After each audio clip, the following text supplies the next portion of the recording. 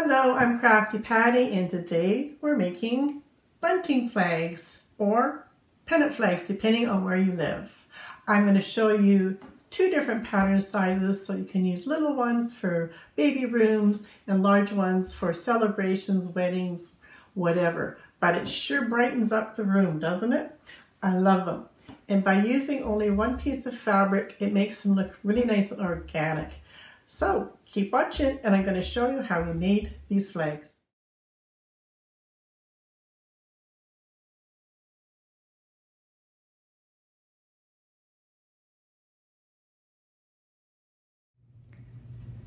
I'll be showing you how I make my two templates for a small one that will fit beautifully over a little cribber nursery and one larger for hanging, say, from a wall to a wall. Now, if you've watched any of my other videos, you know I love my cutting mats and my OmniGrid rulers and my rotary cutters. That's why I do almost everything, whether it be fabric or paper. If you don't have that, don't fret. You can use just an ordinary pair of scissors to cut your patterns as well. You will be wanting a pair of sewing scissors though to cut into our little grooves and to cut out your fabric pieces. If you are using your rotary cutters for fabric and paper, I would recommend you designate one for paper and one for your fabric because paper will dull your blade for your fabric. So keep your fabric one good and sharp. And the one I'm using for my paper is a Kai rotary cutter. The Kai works a little differently than the Olfas. It has a protective guide here, and when you apply pressure onto your surface, this drops down and your blade will cut the surface that you want cut. And I'll be starting both my pattern pieces from a recycled piece of computer paper. I always recycle mine, then it makes a use. And this is obviously an eight and a half by 11 standard size computer paper. And you'll be wanting a few pins to hold on your pattern pieces to your fabric. You can use any fabric you choose. You can use solids, you can use patterns.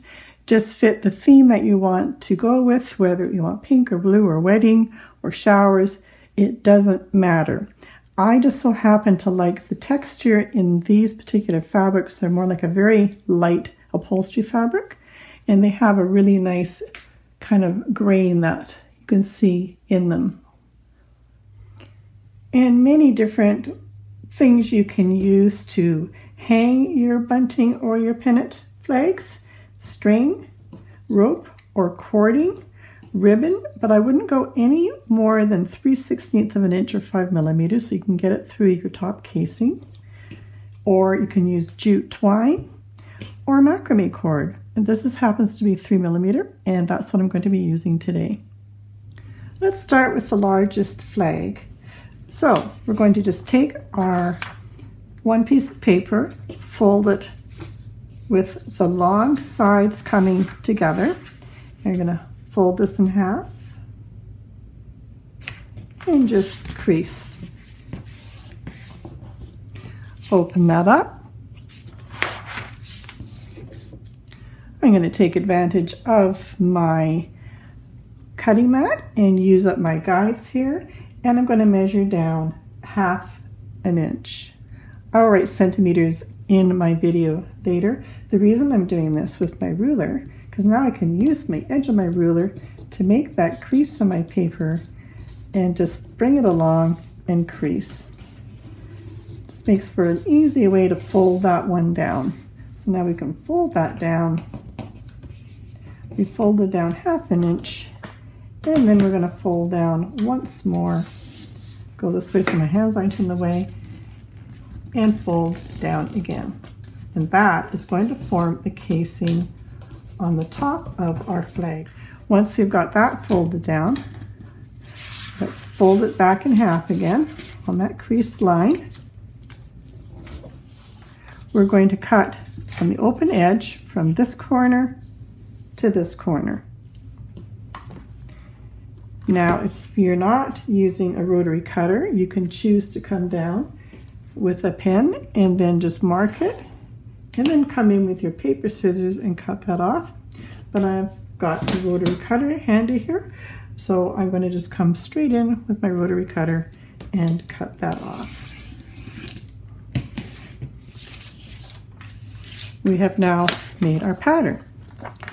Now you'll notice that when this opens up, you'll get a little notch on both sides, which is perfect because what you're going to be doing is this part will fold in and that's where we're going to be sewing our edge for our decorative overcast stitch and then this is going to be coming down and that will form our casing to insert your string or cording. And for your little one to go in a nursery, then you're going to cut your piece of paper six inches by five inches. Six inches long, five inches wide. Again, let's fold this in half, long edges together, and crease. And exactly the same for the top, you can open that up. And if you, if you don't have a mat, then come in with a, a ruler, just measure out your half inch and your inch and then draw your line and then do your folds. But I just find this so much easier.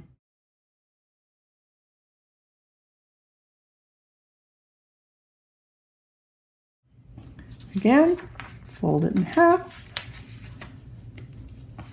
And making sure you've got your open edges because you're going to cut from that corner to this corner.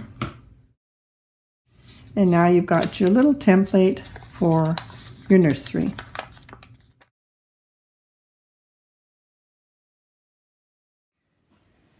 Now if you want to cut lots of flags at once, I suggest you fold your fabric in half, which actually is one, two, three, four layers. Just make sure that your bottom fabrics are all even, and I believe this one here was a bit shorter. And once you've got your bottom nice and straight, then you know that this little piece here we cut at six inches. So what I'm going to do is come right up to the six and we'll cut this off. I'm going back and forth with my rotary cutter because this is really hard fabric to cut and my blade is a little bit duller today. So sometimes if you might get a couple little strands there that don't want to cut, like in here, there we go. And now if you don't have a, um, a cutting board, rulers and rotary cutters, then by all means you can come in and pin this all in and then cut it out with a pair of good scissors. But being that I do have a rotary cutter, I will go ahead and use it. Now I'm going to come up to this one right close to my pattern piece. And I'm just going to move that off a bit because I don't want to cut into my paper pattern. I can bring it back again and I'm ready to cut my second side. And just carefully pop that back down on your pattern piece and you're ready to cut to your second side. I'm sorry if my arm gets in the way here or my hand for cutting. And then once you've got that done, come in and just put one pin in the top because we need to manually cut out our corners. So just pick that up. Make sure all your pieces are still nicely together. And then come in with your sharp scissors, come into the point, and come into the point. And the same for the other side. and you've now cut out four flags all at once. Now if you want to repeat that and cut even more, you're going to reverse it place it upside down like so. And you're ready to cut four more. Place on your ruler and we're ready to cut four more.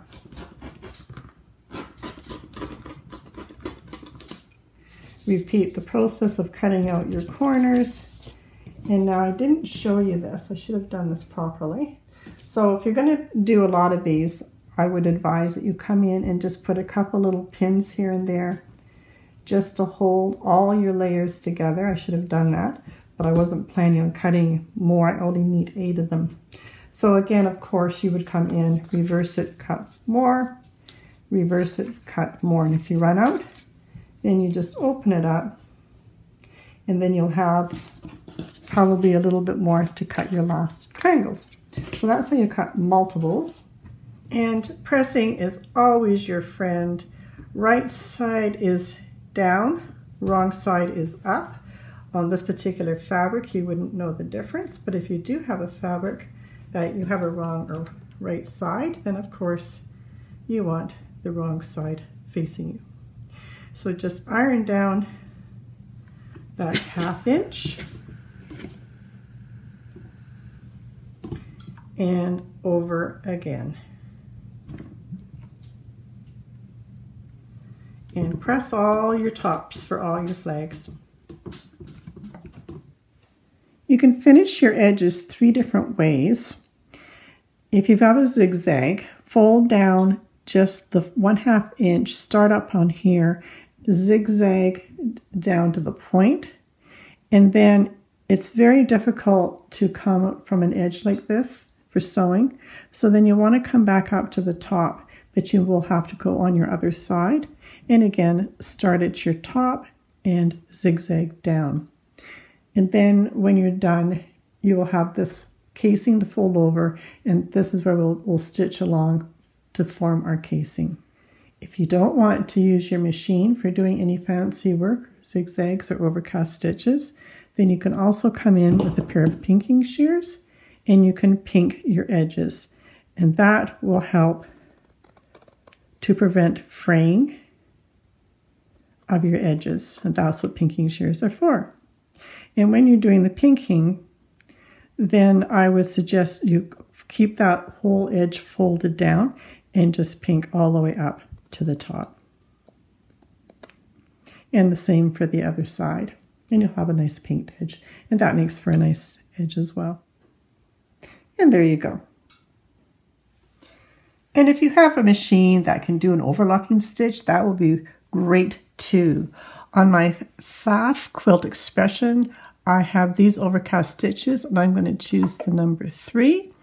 And this one is a little bit wide. This diagram actually shows exactly how wide it will be, but I don't want it that wide. So I'm just going to bring it down to four and also bring it up a bit here. That should be about right. And with the Pfaff, it has a really nice little foot here, and I can just match up the edge of my fabric to the little red guide here.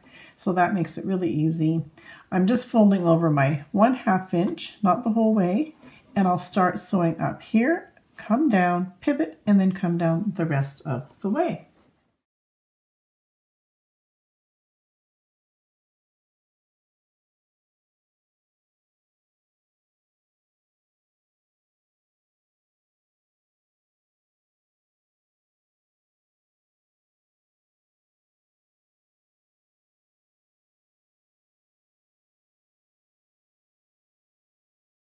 And there we go. Both sides have been overcast and I can just cut off my little ends here.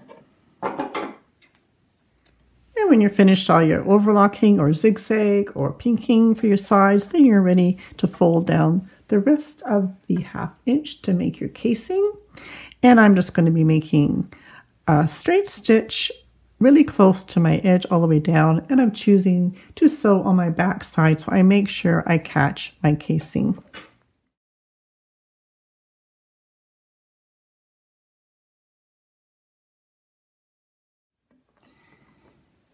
And if you want to save some time, instead of taking each flag out and then grabbing another one, have the next one ready to go.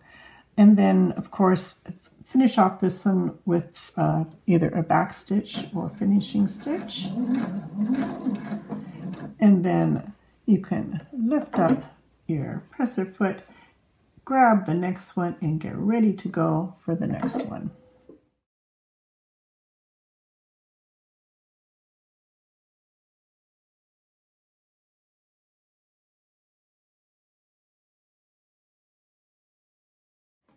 And then once you've got all your flags done, you can just come in and clip them and separate them. And once you're finished sewing all your flags, give them a nice pressing and then we'll be ready to get them all hung.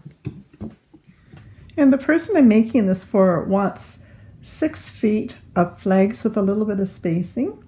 So that's what I've done and I've put out the order I want them to go in. So now all I have to do is prepare my cord and let's thread these up. And I will be using macrame cord to thread these up. So I'm just going to add a little bit of uh, tape here and uh, just put it into a nice point here. Just so it doesn't unravel when I'm threading them all through. Grab my safety pin and we're ready for threading. Starting with my first color, here we go.